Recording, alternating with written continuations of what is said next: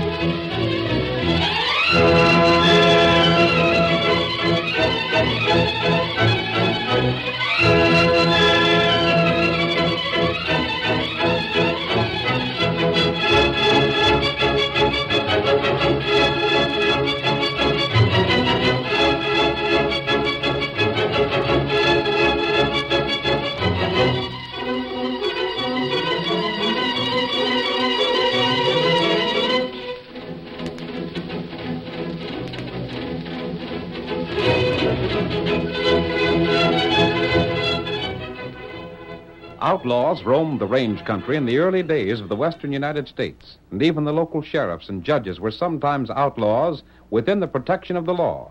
It was then that the masked rider of the plains rode in the cause of justice.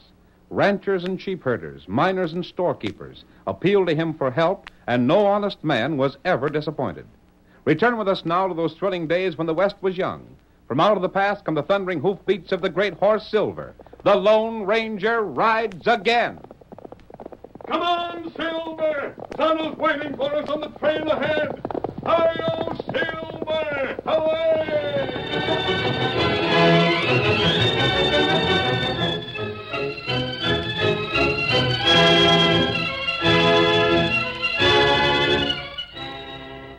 The town of Springville, near the eastern border of Texas, had experienced Indian uprisings and outlaw raids during the early years of its history. But at the time our story opens, Indians and outlaws were a thing of the past, and Springville was as peaceful as any New England village. It was an unusual occurrence when anyone was arrested, and the little courthouse was filled on the morning Bill Stevens was brought before Judge Ezra Eccles. Quiet in this here courtroom. Quiet, I say. Well, Judge, what's the verdict? According to law number 214, section 5, it's a misdemeanor for any individual excepting a duly recognized lawman to carry any weapon concealed. By jumping Juniper, my shooting iron wasn't concealed. I told it in plain sight on the right hip. Comes under the head of concealed weapons just the same. The law further states that the penalty for the same is not more than a $100 fine and 90 days in the jail, or both. I never heard of no such law. Well, you're hearing of it now. How do you plead, guilty or otherwise? Huh? Did you tote a gun or did you not? Gosh, everyone knows a toted one. Then you I- plead guilty. Well, I... Plead otherwise, and there's a law that'll jail you for perjury. What's that? Lying on the witness stand while under oath. Oh, things went along swell here till you found that doggone law book. Now there's a blame many laws a man can't turn without busting a half a dozen of them. Guilty or not guilty, Oh, which you let me off the cheapest? your fine's a hundred dollars for packing a gun. If you can't pay it, you can go to jail for ninety days. Perjury will cost you two hundred dollars. Uh, I reckon I'll choose the other. One hundred dollars fine. Most every dad rat a dime I got. Pay for it over there, and the sheriff will give you a receipt for it. There's your money, blast it. Now all I got left is ten bucks. Hmm, still got ten bucks, huh? This town's getting worse all the time. I don't know What what. was that last remark, Stevens? I says this blame town's getting worse all the time. He still got ten dollars. Stevens, you're fined ten dollars for contempt of court. What? Statute 211, Section 14. Maximum. Look here, Judge. I don't care about statutes and less sections. Just tell me this. How much is this here gun worth? Why? You think I could raise enough on it to pay the fine for unlimbering my tongue and tell him what I think of this deal? That'll do. Court's dismissed. Oh, by thunder, I don't know You'd better get out, Stevens, while you got the chance. You might land in the calaboose yet. All right, folks. Court's dismissed. All of you clear out. well, it worked, Judge. I told you it would, didn't I? $110. Mm, let me see. Two into 110 makes uh, $55 each. Mm-hmm. And we're just getting started, Sheriff. just getting started. Gosh. With me to dig up laws that never were enforced, and you to do the arresting, and me to find people, we'll clean up. It sure was smart of you to think of this. it shows what an education will do. But I was thinking. Yeah? After today, it ain't likely any of the folks in town will risk wearing their shooting irons. So I won't have no chance of arresting them on that charge again. Maybe not, but there'll be strangers in town. Yeah, I never thought of that. And that isn't all. Huh? You see this book, Sheriff? Yeah, but I. I've been going through it carefully. And you'd be surprised at the laws that have been passed in this town and forgotten. Forgotten, huh? mm-hmm. Fifteen years ago, there was a law passed about hitching horses on the main street. Sakes alive. That's a new one on me. And it'll be new to everyone else. Here's another, saying that cows can't be driven through town. Yeah? And there's a curfew law for the young'uns. Uh, but don't we have to make a report on the cash we take in from fines? Sheriff, you and me are going to take in money so fast, anything we report will look all right. We've found a scheme that'll make us rich. Rich beyond our wildest dreams.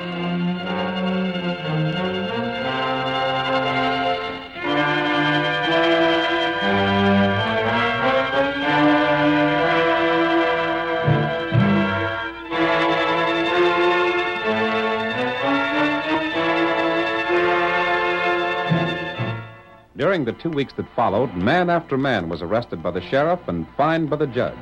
The townspeople were indignant, but there was nothing they could do. Then, one day, the Lone Ranger and his faithful Indian companion Tonto rode toward town. It's been a long time since we were in this part of the country, Tonto. Oh. We'll stop in town for supplies and head for the hills. You look. You see cowman? Yes, and a good-looking herd. Why, him drive 'em off trail. That's strange. He's taking those cows through town, it'd be easier to follow the trail. That's right. But he seems to want to circle the town. That bad ground. He's deliberately sending them off the trail over that swampy ground. Why him do that? We'll find out. Come on there, Silver. Get him up, Scout. Nice to get along there. Hey, you fella. Get back off the trail. Hello there. Howdy, stranger. Come, come, come. Move on. Oh, Silver. Oh, there, boy. Scout. That's hard going for your cattle. Stranger, you said. Hey, that mask. Keep your hand away from your gun. I ain't got a gun, stranger. Don't rob an unprotected man. Land sakes, we can't pack guns when we're right at the mercy of men like you. I'm not going to rob you. But, but the mask. Pay no attention to it. You need help with that herd. I need a lot. Thanks to the way they're doing things in town. What do you mean? Doggone, look at those critters. The minute I stop, they start grazing. If it weren't for them laws, I could take take 'em through the town and save going around this ground. That's interesting. Fact is, if it weren't for the laws, I wouldn't have to sell 'em in the first place. Why is that? Well, a couple of weeks ago, I got arrested for lugging a shooting iron and fined of all my cash money. Then a couple of days later, I was fined for sacking the sheriff and had to sell my gun to pay the fine, and I couldn't carry it anyhow. Then I got fined for taking cows along the main street of the town, which same is the only street. And now I got to sell these critters to pay that fine. Shucks, if I got fined for taking these through town, I'd land in the calaboose for sure on account I can't raise no more cash. Those seem to be mighty strange laws for a cow town. They're strange laws for any town. Trouble is, they was made when we had blame fool committee running the town a few years back. And each of the committee wanted to make as many laws as the others on that same committee. I see. Stranger, take some advice from me. Don't you show yourself with that mask and them two guns. By thunder, they'd find laws to take all your cash no matter how much you had. We'll help you get your herd around the town. I want to hear more about these laws and their enforcement. Well, I can tell you plenty from my own experience. Get up. Get on there. Get up there. Tonto, instead of going into town, we'll camp outside when we finish helping this man. Mm, that good. There seems to be a situation in town that we can do something about. Come on, Silver. Get him up, Scout.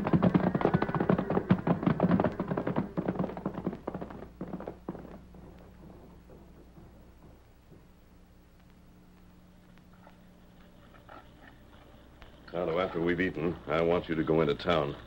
What me do there? Perhaps go to jail. Huh? Take some money along with you. Oh, uh, go to cafe? Any place where it'll be noticed that you have cash. Um, me do that. You might buy some food and pay for it with a fairly large coin, a gold coin.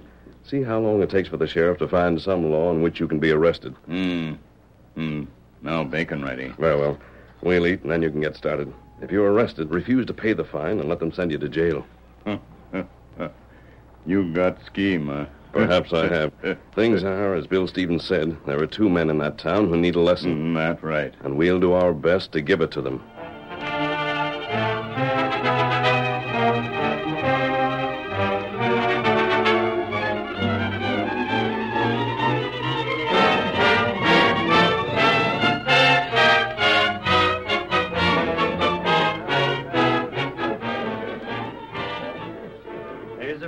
The victuals you packed up, Redskin. Now, let me see the color of your money.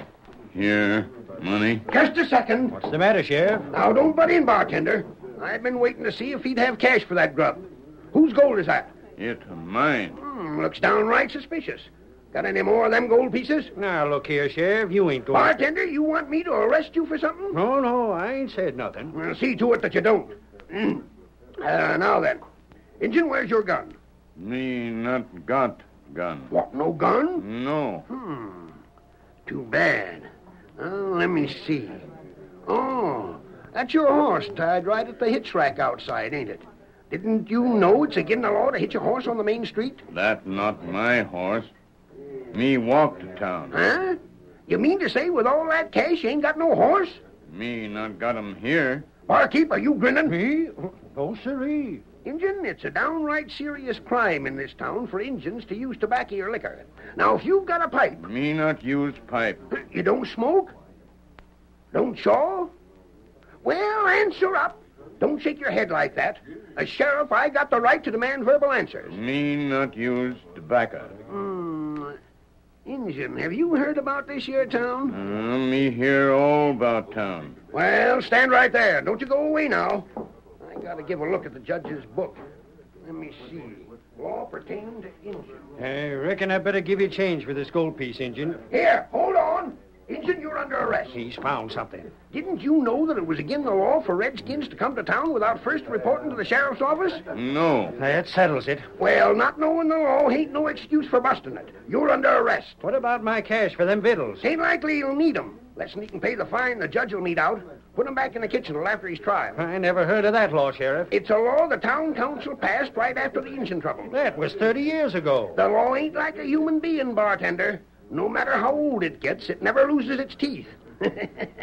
Golly, I'm getting near as smart as the judge. What law say? It says no Injun can come to town without first he reports to the sheriff's office. Now, what's the sense in that? Plenty.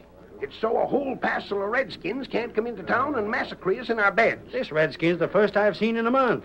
You don't figure he'd scalp the whole town, do you? Tain't my job to criticize the law. I got enough to do seeing it's obeyed. Come along, Injun. We're calling on the judge. Me come. Watch out, Redskin. The judge will take your eye teeth if you open your mouth wide. You be careful, bartender. I'll hold you up before the judge for declamation of character or something. Out this door, Injun. Just a step over to the courthouse. Judge is there, all right. I can see him through the window. That courthouse? Just go up the steps and inside. Won't do you no good to try to get away, neither. Me not try get away. Uh, Judge. Come in, Sheriff. Go ahead, Injun. Judge, I brung you another lawbreaker. Ah. What'd this one do, Sheriff? He didn't report to my office like the law says he should. This is it right here in black and white. Ah, that's mighty serious, Redskin. Of course you're guilty, ain't you? Uh, Then the fine will be, uh, now... Maybe uh, about fifty dollars. Yes, $50 or 30 days in jail. me not pay fine. What's that? Me take 30 day. Then 30 days you'll get. Jail him, Sheriff. Right. Reckon he'll change his mind after a few days in jail. Who was that? Sounded like a stranger to me, Judge. Stranger, eh? Well, if you find him, arrest him for disturbing the peace.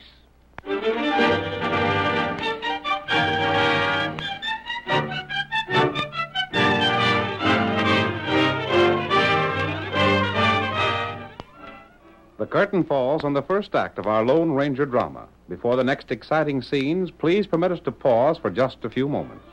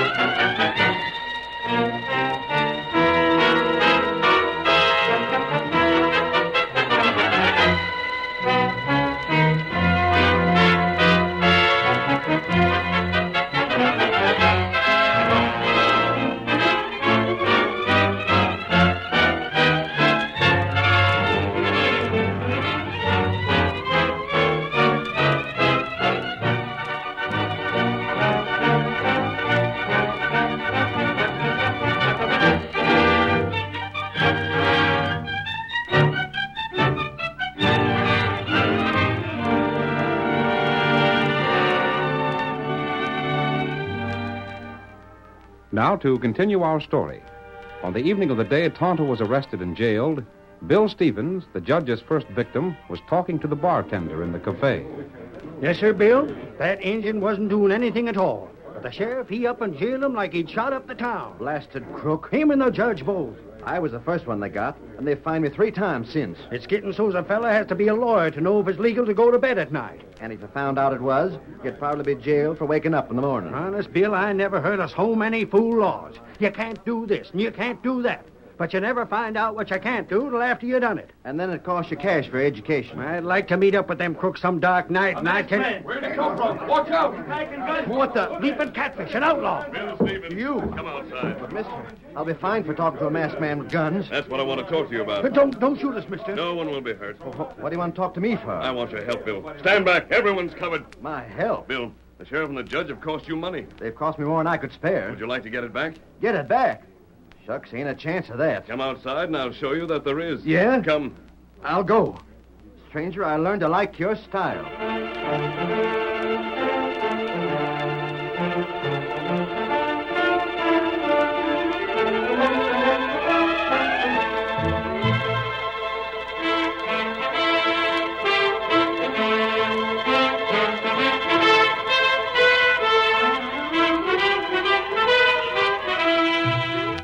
The masked man talked to Bill and explained his plan. The rancher smiled for the first time in days and returned to the cafe. Then the Lone Ranger called on another leading citizen of the town. Oh, Silver. Oh, fella. Oh, boy. Stay here, old fellow.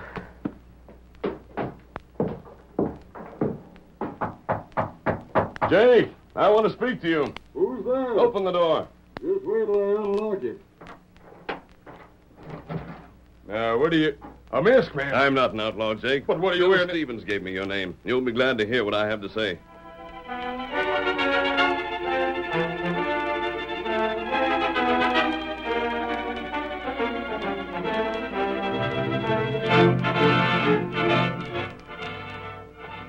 Then you'll do it, Hank?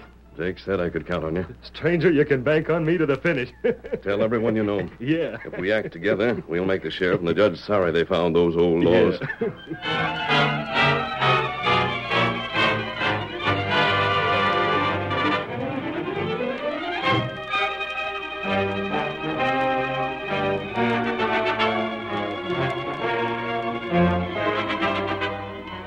The Lone Ranger's plan spread by word of mouth and changed the mood of all the townspeople. The sheriff discovered the change on the following day when Bill Stevens rode up the main street to the cafe. Whoa, whoa there, whoa, fella. Well, I'll be. Stevens! What's ailing you, Sheriff? Stay right where you are. You look all head up, Sheriff. Eat something that don't set well. Breaking the law again, huh? I thought I'd learned you your lesson afore. What lesson? Not to pack a gun in town. Well, I paid my fine, so I figured it'd be all right now. Besides, this here's an old one that ain't mine. I just borrowed it. you did, huh? Well, get off on that horse. Anything you say, Sheriff. What do you aim to do? Let the judge deal with you. All right, if I gotta see him, I gotta. Let's get it over with. You walk ahead of me. Thought you'd put something over on me, huh? Ooh, I don't know. But you didn't. Anytime you get ahead of me, you'll have to get up mighty early in the morning. You've got eyes like a hawk, sure enough. And it'd pay you not to forget it next time. Maybe you'll have something to remember, too. Yeah? That sounds like a threat to me. Well, Judge, I brought you Bill Stevens again. Well, well. Yep, I'm back, Judge. You're the most regular lawbreaker in these parts. The sheriff arrested me for wearing this here gun. Mm-hmm. Now, let me see. Fourth time you've been here, eh, Stevens? Uh-huh. That ought to cost more, oughtn't it, Judge? If we keep things on a legal basis, it should. $200 in costs. That's the fine. Yep. And you've got to pay, even if you have to mortgage your ranch. It's either that or 90 days in the jailhouse. Let's get going, Sheriff. Huh? You fellas have every last penny I'd saved. This time I'm going to jail. You you haven't got $200? That's what I said, ain't it? Hmm, well, uh, stretching a point, Stevens. I might, uh, I might make it less. If you could pay it, Nope. I'll be lenient. How about a $50 fine? Not a penny. Hmm, what do you offer? I said not a penny, and that's what I meant. Stevens, you're a lawbreaker of the worst kind, a callous criminal. It's 90 days for you, and you can start serving them now. Sheriff, take the prisoner away.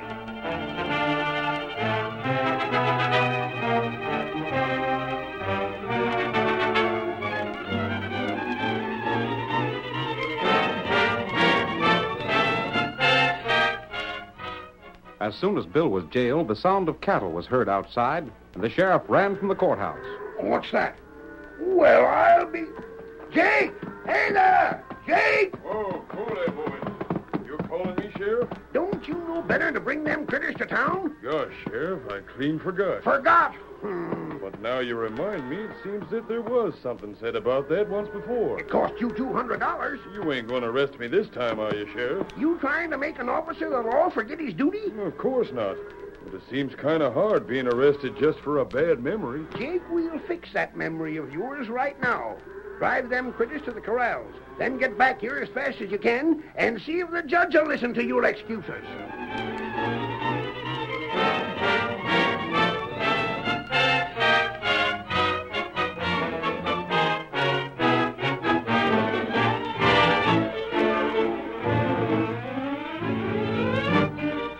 Jake, like Tonto and Bill, refused to pay a fine and went to jail. In the days that followed, men were brought in by the dozens, and they all chose jail rather than pay a fine. The sheriff was worried when he locked the door of a cell on Hank Mahoney. Well, reckon that'll teach you, Hank. I'm satisfied if you are, Sheriff. Keep still, you fellers. Sheriff, we ain't getting enough grub. No. We ain't getting good enough grub. It's your duty to feed us in jail, and you ain't doing it. Shut up, I tell you. We want more grub. More grub, Sheriff. We want more grub. We're gonna have it. You're eating more than you're worth right now. I wish I'd have never seen a one of you. Now keep quiet.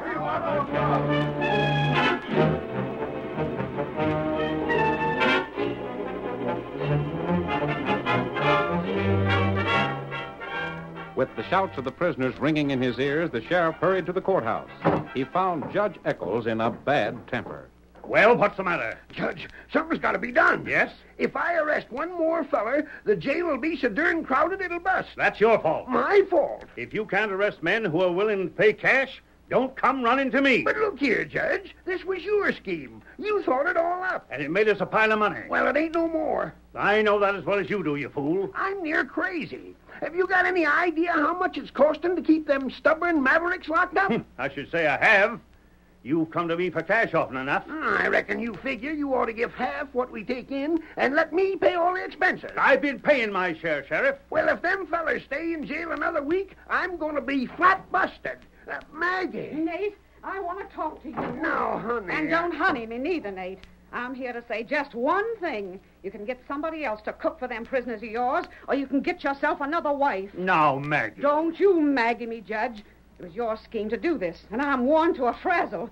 I'd rather cook for a gang of cowhands than for them fellows in your jail. But I couldn't help it. None. Maybe you couldn't, but you're going to stop it now. Wait. I'll handle this. What can you do? You two follow me. I'm going to the jailhouse and talk to your prisoners. It's about time somebody done something about this here mess you two stirred up. I let them all out. Let them out. It's the only thing we can do. We'll still clear a little money if we get rid of them right now, Sheriff. Yeah, that's right. You'll settle this whether you clear any money or not.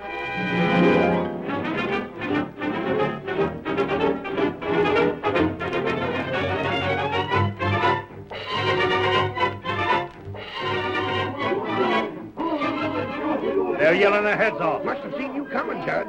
Well, when I get them out, I don't care if you never make another arrest. Come on in. Got our grub first, Sheriff? Don't try no speeches on us, Judge. We want our grub. Now listen to me. What about our grub? Keep quiet and let me speak. I've talked things over with the sheriff, and we've decided that you men have been punished enough. We're going to let you out. But we ain't leaving, Judge. No, no. You put us here, and we aim to serve out our terms as law-abiding citizens. Ain't that so, men? But we let you go free. We let you free of fine. You gotta get out in here. Quiet. Quiet, fellas. We got a right to stay in jail. And we're gonna do that same. It's cheaper for us to stay here than any place else we know of. Judge, what are we gonna do? I don't know. I. I'll tell you what you can do, Judge. A masked man. He's a crook, Judge. Sheriff, don't you dare arrest him. I wouldn't jail another feller if he robbed a bank.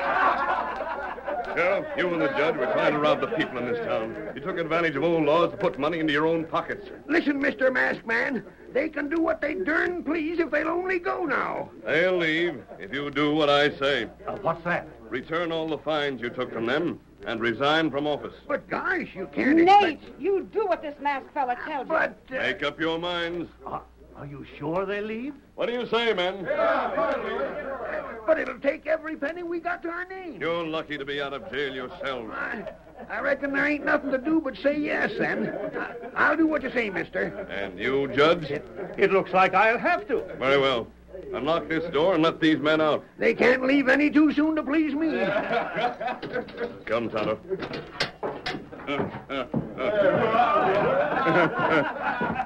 Your plan plenty good, huh? Hey, stranger, don't go yet. We ain't thanked you for what you done. It isn't necessary, Bill. Sheriff, if you don't pay back the money you've taken, Tonto and I will return and see that you do. Gosh, Judge, why did you have to think of them laws anyhow? Don't you ever mention laws or jails or fines to me again. Now then, open them jail doors while I get the cash together.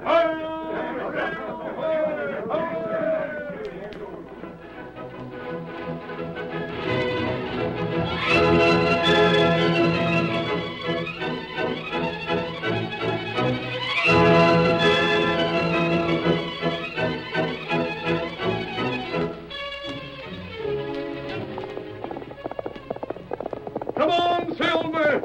Hudson needs our help!